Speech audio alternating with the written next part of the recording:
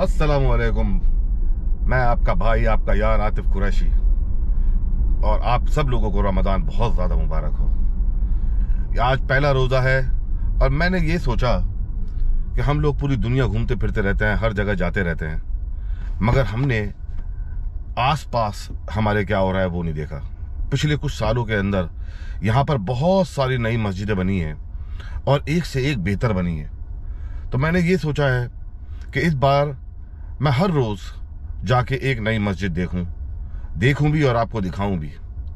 उससे ये भी होगा कि हम, मेरे को भी पता लगेगा कहाँ पे हम लोग जो मुसलमान हैं, वो कितनी प्रोग्रेस कर रहे हैं, कितना आगे बढ़ रहे हैं किस किस टाइप के मॉन्यूमेंट ये लोग बना रहे हैं। और अप्रिशिएट भी करेंगे और फिर जाके देखेंगे भी कि जो मैंने नहीं देखा अभी तक। क्योंकि ज़ाहिर बात है, दुनिया तो बहुत देखी, मगर फ़िलहाल ये भी देखना बहुत ज़्यादा ज़रूरी है। उसके साथ साथ मेरा एक और प्लान भी है। मेरा प्लान ये है कि मैं जाऊँगा वहाँ पर, हर मस्जिद के अंदर, और खाली एक पानी की बोतल लेके जाऊँगा, और कुछ नहीं। वो इसलिए मैं ये देखना चाहता हूँ कि हमारे मुसलमान भाई कितने जेनरस हैं, और वो क्या करते हैं। मेरे को कितनी जगह पे इफ्तार मिलता है, कितनी जगह पे नहीं मिलता। जहाँ पे मिलेगा खा लेंगे, आपको बता देंगे और आपको दिखा भी देंगे। और जहाँ पे नहीं मिलेगा तो माँ से शूटिंग खत्म ख़त्म करने के बाद किसी रेस्टोरेंट में जाके खा लेंगे या अपने घर जाके खा लेंगे। तो इनशाला ये भी देखेंगे और ये भी हम काउंट करेंगे कि कितने दिन हमको मिला, कितने दिन हमको नहीं मिला। तो खैर, आज पहला रम, पहला रोज़ा है। और पहले रोज़े में मैं जा रहा हूँ आपको लेके एक मस्जिद में जो मेरे दिल के बहुत करीब है। इस मस्जिद की जब तामीर हो रही थी तो मैं उसके अंदर बहुत ज़्यादा इन्वॉल्व था। और क्या कहते हैं, मैंने बहुत कुछ किया भी था और मैं काफ़ी फंड रेजिंग के अंदर भी इन्वॉल्व था। मैं बहुत ही मोहब्बत करता था उस मस्जिद से। और फिर जब मैं चाहता भी यही था कि मैं घर भी उस मस्जिद के आसपास ही लूँ, मगर अल्लाह ताला ने कहीं मेरी और रिहाइश का तय कर रखी थी। तो मैं कहीं और मूव हो गया तो ये मस्जिद मुझसे थोड़ी सी दूर हो गई। मगर फिर भी मैं था, मैंने आपको बोला, ये मस्जिद मेरे दिल के बहुत करीब है। इस मस्जिद का नाम है अल वली। ये एडिसन के अंदर ओल्सन एवेन्यू के ऊपर है। और अभी हम चल रहे हैं वहाँ पर। रोज़ा खुलने के अंदर अभी तकरीबन 40 मिनट बाकी है। That will give me enough time कि तब वहाँ पे लोग वगैरह आए भी नहीं होंगे। That will give me enough time to get the good parking और क्या कहते हैं, अच्छे शॉट लेना। और फिर मस्जिद में भीड़ भी नहीं होगी। तो हम मस्जिद अंदर से भी कवर कर सकते हैं। तो इनशाला चलें लेट्स गो ये तो हो गया मेरा जो मेरे को आपको बताना था अब बाकी आप देखते चल के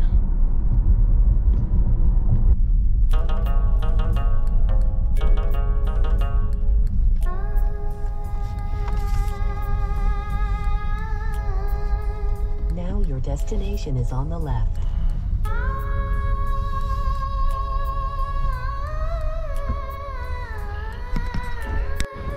तो ये जी ये है मस्जिद अल वली मैं आ गया हूँ यहाँ पर। ये मस्जिद मेरे एक दिल का टुकड़ा है। मुझे इस मस्जिद से इतनी मोहब्बत है, तभी मैंने पहले वीडियो के लिए इस मस्जिद को चुना है। और ये देखें आप ये मस्जिद।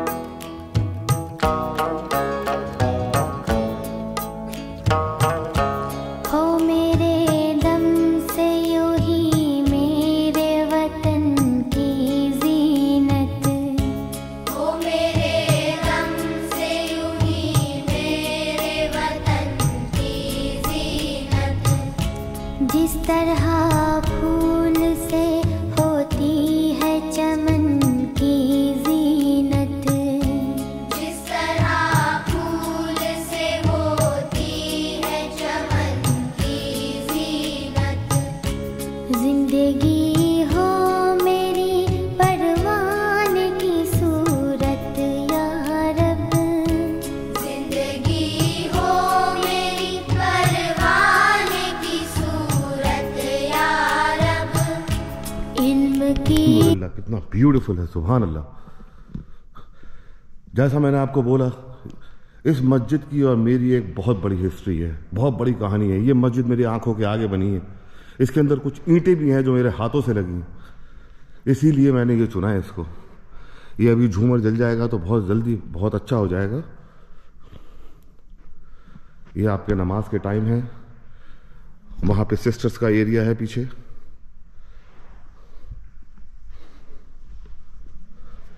तो ये आपको मैंने मुसल्ला दिखा दिया, अभी मैं आपको वज़ू करने का दिखाता हूँ। इन नमाज़ भी साथ पढ़ेंगे।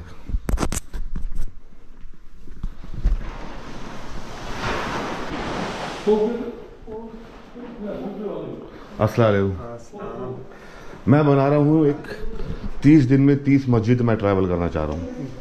तो मैं दुनिया घूमता हूँ मगर मैंने सोचा इस बार मैं न्यू जर्सी और न्यूयॉर्क की सारी मस्जिद पहला दिन यही चुना पहला दिन मैंने इसलिए चुना है क्योंकि इस मस्जिद की तामीर जब हुई थी तो मैं इसके अंदर बहुत इन्वॉल्व था। अच्छा। तो ये मस्जिद मेरे दिल के बड़ी करीब है। अभी तो मैं पिस्कैडा में मूव हो गया हूँ मैं पहले मैं यहीं रहता था। अच्छा। यहाँ से तकरीबन वॉकिंग डिस्टेंस के ऊपर। अच्छा। तो मैं इसके अंदर जो था क्या कहते हैं काफ़ी हम लोग जहाँ जो उनकी ईंटें लग रही थी, जो वो हो रहा था, उस ज़माने में मैं जब घर भी लेना चाह रहा था ना तो मैं यही सोच रहा था, म- इस मस्जिद के आसपास हूँ मगर फिर अल्लाह ताला ने मेरी रिहाइश कहीं और कर दी तो मैं कहीं और चला गया, दूर हो गया। मगर फिर मैंने कहा कि, मैंने कहा, पहली मस्जिद इससे ट्राई करूँगा, कल इंशाल्लाह अल हाँ। ये सिस्टर हॉल है, मैं जाऊँगा नहीं सिस्टर हॉल्स के अंदर। और ये देखें आप, वज़ू का एरिया। आपके लिए चप्पलें वगैरह रखी हैं। माशाल्लाह एकदम क्लीन। बाथरूम्स वगैरह भी एकदम क्लीन फ़िलहाल मेरा फ़िलहाल मेरा तो वज़ू है अभी तो मुझे करने की ज़रूरत नहीं है। मगर ये हमारी मस्जिद है।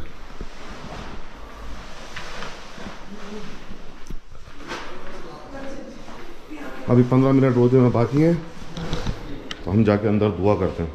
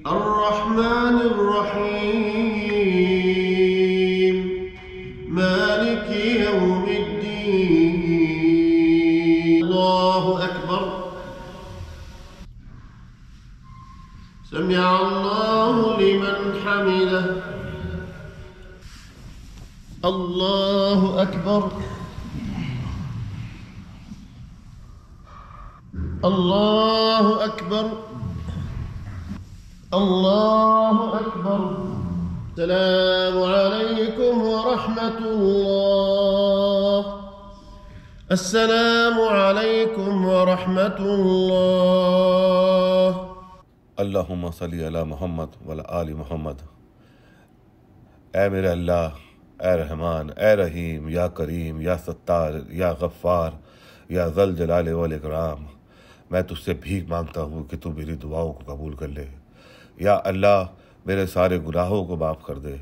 या अल्लाह जो इस वीडियो को देख रहा है, उनके सारे गुनाहों को माफ़ कर दे। या अल्लाह हमारे बड़े बूढ़ों को माफ़ कर दे। या अल्लाह उनकी कब्र में तू जन्नत की रोशनी अता फरमा। या अल्लाह ताला हमको इस दुनिया और आखरा दोनों जगह दोनों जगह पे हमको प्रोटेक्ट कर। या अल्लाह ताला हमको, हम सबको अपनी फैमिली में जन्नतुल फिरदैस के अंदर मिलने की तौफीक अता फरमा। मुझे दूसरों को माफ़ करने की तौफीक अता फरमा।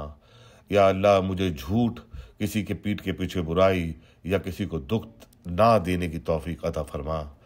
या मेरे परवरदिगार, मुझे अपने माँ बाप के लिए सदकाए जारिया बना। या अल्लाह मेरे बच्चों को मेरे लिए सदकाए जारिया बना। या अल्लाह जो भी ये वीडियो देख रहा है और मुझको, हम सबको बहुत सारी दौलत, बहुत सारी इज़्ज़त अता फरमा, ताकि हम तेरे रास्ते में खर्च कर सकें। या अल्लाह मेरी बेगम को लंबी और सेहतमंद उम्र दे। या अल्लाह ताला हम दोनों को के बीच में जो फ़िज़िकल और इमोशनल बॉन्ड है, उसको और ज़्यादा स्ट्रॉन्ग कर। हम दोनों को जन्नत में एक साथ वक्त गुजारने की तौफीक अता फरमा। या अल्लाह मेरे भाई बहन मेरे रिश्तेदार, मेरे यार दोस्त और जिनको भी मैं जानता हूँ, उन सबको जहन्नम की आग से बचा।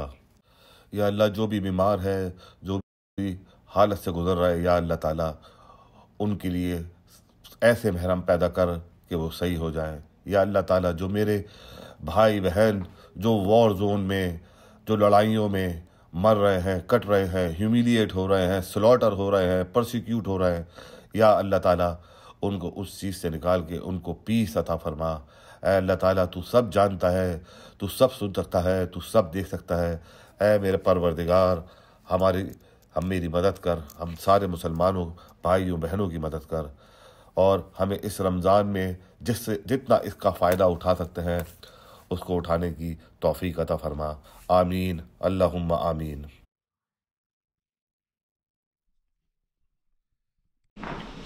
Right.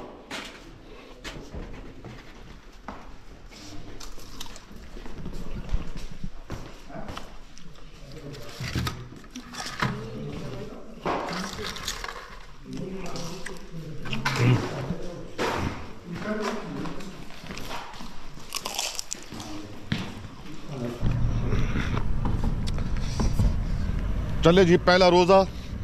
अब पहली मस्जिद। आउट इंशाल्लाह इफ्तारी भी मिल गई। ज़्यादा नहीं था। एक समोसा, एक फ्रूट, खजूर। अल्लाह का बहुत बहुत करम है। वही मिल गया। वही काफ़ी है। चले निकलते हैं हम।